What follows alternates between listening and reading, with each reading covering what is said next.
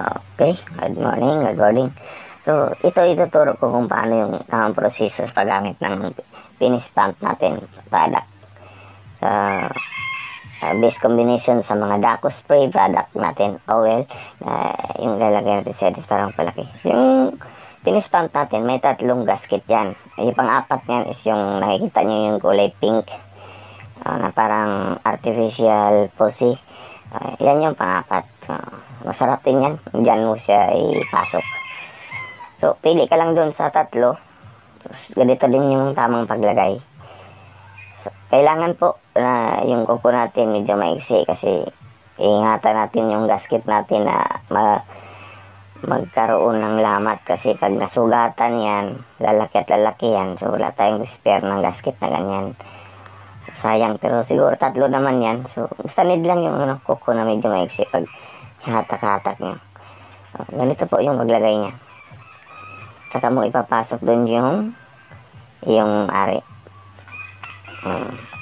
Dapat meron na siyang ano, meron siyang spray or lubricants. So kung wala naman kayong naubusan na kayo ng dako, pwede nyo gamitin yung ano, lubricants para to perform lang 15 minutes or 20 minutes every session, morning and night. So kung di kayo busy, kung kaya pa, pwede sa afternoon. So ganun din, no? lagyan din natin ng dako yung buong parte nito. Yung ating ari. Kung paano lagyan, i-spray mo lang doon sa ulo. O once, twice. Tapos tingin mo na ibabasa na lahat. So, pwede na yan siya. Matagal kasi maano to kasi oil. Matagal matagal matuyo. So, additional ko lang din kung sino yung naka mapapanood nyo yung unang video ko. So, dapat para ma-absorb yung nutrients ng product natin, ano nyo rin siya ng basang bimpo. Basang, uh, basang bimpo yung may maligam-gam na tubig. Balutin nyo. Seconds lang. Pag medyo wala na yung init, mga tatlong beses, balutin nyo na naman siya. Tapos tanggalin uli. Tapos balutin uli, tanggalin uli. Ang purpose doon para mag-open pores yung mga balat natin. Uh, at the same time, pag bukas to yun, uh, madali makapasok yung mga nutrients ng product natin at hindi siya masayang. So, mas makita natin yung effectiveness ng ano product natin. Madali at saka mapabilis. So, ganito no. Yung ginamit ko kasi yung dildo is medyo malaki. So, hindi siya compatible doon sa gasket na ginamit ko. So, palitan natin yung artificial natin. Medyo maliit-liit. Para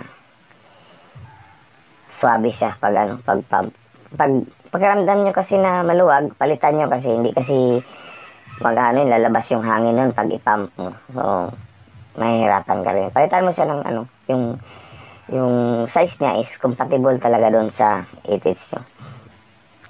Ito, palitan ko siya.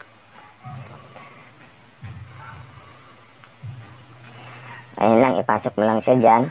Tapos yan, ipump ng ipump.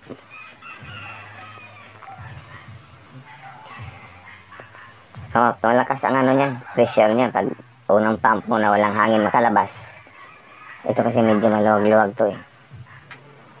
Oh, medyo maluwag-luwag siya. So, sa ano lang naman to, presentation na naman to.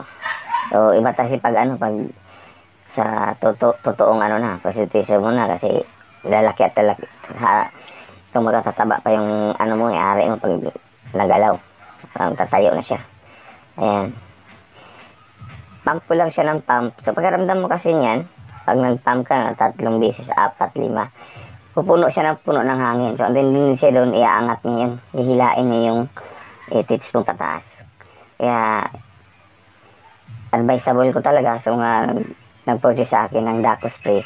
So, kung medyo bakante kayo, kumuha kayo ng ano, finish pump. So, kita nyo na, kasagad na yung ano natin, no? Naakyat na niya. Sa tulo na. Hmm. Pag pakiramdam nyo, hindi nyo na siya mapump, ibig sabihin puno na siya ng hangin. Pwede nyo siyang i-release. Pwede nyo siyang i-release. Pagkatapos, balik nyo uli. Pump nyo siya uli. O, ganun na po yung sikreto doon. Ang ito lang din, additional ko lang din no, sa mga ano, ano.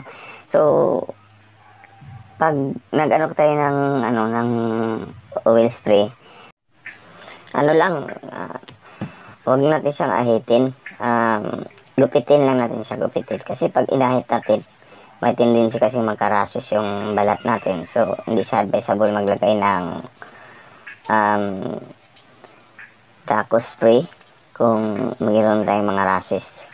And especially yung ano, yung bulitas at saka humps, pasensya na po, ah, hindi po tayo pwede mag-avail. Salamat.